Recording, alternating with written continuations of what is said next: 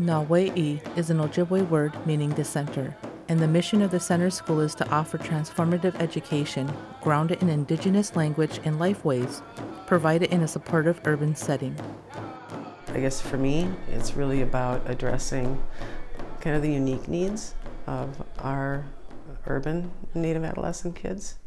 Um, just because I think there is an extra layer of marginalization um, and isolation and uh, that sense of belonging. And I think that this school and this type of an environment and these kinds of programs really help with these kids um, because they're kind of unseen in the general public and their needs are so great. It's a group approach. It's not just one thing. You know, it's it's our culture, it's our language, it's our elders, it's you know, our language teachers. It's the support that we can provide them that they're not going to get otherwise. They need that worldview that is so much more, as I see it, coherent uh, than, than the dominant worldview of mainstream America. I feel like uh, they really need to, to be better grounded and they need to know who they are.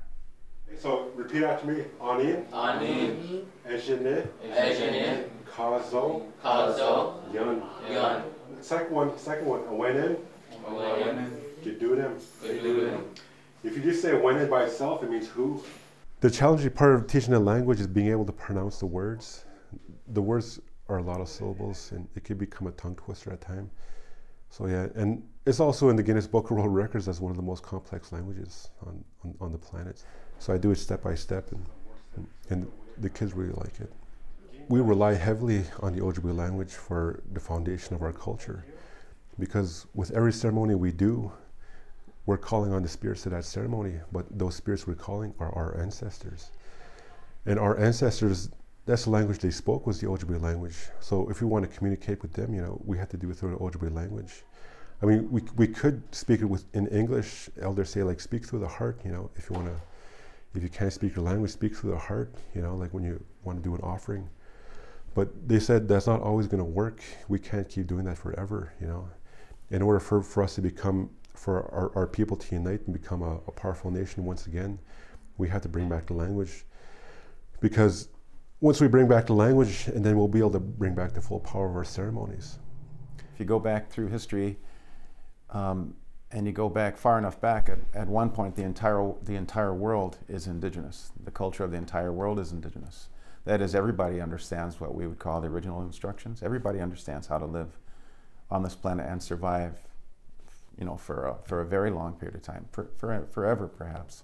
With colonization over the last three, 5,000 years perhaps, leading up to today, we have only small pockets of indigenous people left in the world who really still understand those original instructions. And so what indigenous cultures have is that knowledge of how to live here. And not only that, but, but deeper than that, there's a, an understanding of the true nature of the universe as opposed to um, this artificial idea of what it is that's been kind of superimposed on people's consciousness. That we feel like immersion is the best way to teach language. I also think it's the best way to share uh, life ways and worldview.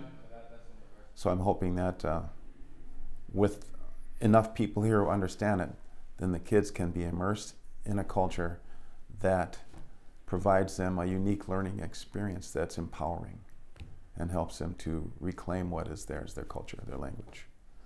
We applied for full-time language teachers when we wrote the grant. My grant writer actually asked me, why would you want full-time language teachers when they only teach one or two classes a day, maybe three, you know, out of a six-hour day? And I said, well, the other piece is just as important. We need those teachers here to teach the non-native teachers how to incorporate language and culture into their curriculum. I co-teach with other teachers. I teach uh, five classes throughout the day. One of them I do a weather class with the science teacher. So I'm teaching them how to uh, to watch the skies, to know what the weather will be like the next coming days. And we're, and we're using a lot of Ojibwe language terminology. He's really fun and he listens and he's he's really understanding on stuff and he doesn't like you know he doesn't like put too much pressure on somebody like you know he helps out more than you know just throw stuff at you I also uh, pay attention to their everyday lives. You know, are they okay? Are they happy? Are they sad? You know. So when I know everyone's everyone's having a, a good day, you know, I try to have a lot of fun. But when someone's upset, I'll try to be careful, like with this one, you know.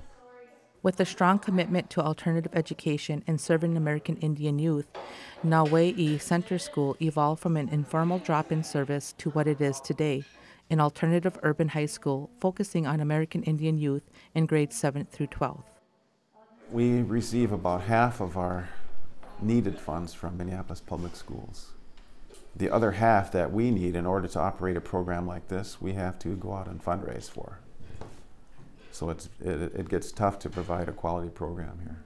Because we found out that we need social workers, we need therapists, we need chemical ab abuse prevention specialists, and we need more than just the four core subject area teachers, we need language teachers too. So when you add all that up, it adds up to about twice the budget of, uh, of, a, of, you know, of what the district can provide for us for that, uh, for that operation. I want the public to understand how great the need is. I want the public to know that we're here. You know, 78% roughly of indigenous kids in this country live in urban areas. And yet they're the most invisible. The Nawayee Center School has much to celebrate for obvious and more subtle signs of success. When people are looking for success, they're looking for easily quantifiable events, you know, attendance, uh, grade point averages, and things like that. But what we found is something that isn't so easy to quantify, and that is real success is when kids or young people um, believe in themselves. You know, they, they become empowered, they self actualize. That's what we're really looking for, is for people to say, to believe that there's nothing that they can't do. This labor of love involves teachers, counselors, and a community of people committed to the success of a new generation of Indigenous people. We're very dedicated, passionate, serious about the work we do here, that we really care about these kids, and we're trying to provide everything they need. Um, I think the other piece, though, is just that there's a reciprocal responsibility. The families and the students and the staff here must share. And it's important for people to understand that a school like this doesn't survive long without involving everyone within the community.